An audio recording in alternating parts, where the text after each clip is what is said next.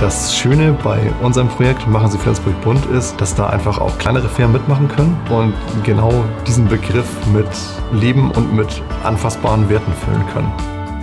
Konkret durch die Bepflanzung von Verkehrsinseln Arbeitsplätze für Menschen mit Beeinträchtigung zu generieren. Das Ganze funktioniert über Sponsoren. Sogenannte Sponsoren sind in dem Fall regionale Firmen, die einfach sagen, wir haben uns eine Fläche ausgeguckt oder lassen uns gerne eine Fläche anbieten. Die wollen wir nach unseren Wünschen gärtnerisch gestalten lassen.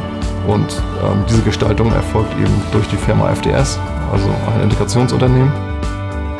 Es macht die Stadt konkret schöner, es schafft soziale Vorteile und am Ende kommt eben auch noch ein positiver Auftritt für die Firma bei raus. Das ist eben was Anfassbares hier vor Ort.